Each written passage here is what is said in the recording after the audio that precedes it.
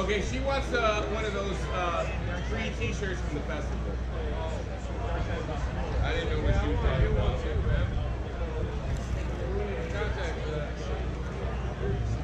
Yeah,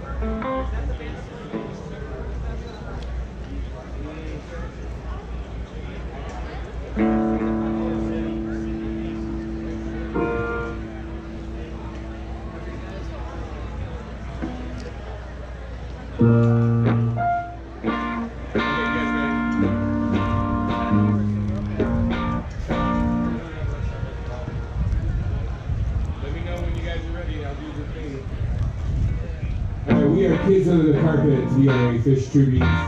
This is, uh, I think our second year or third year.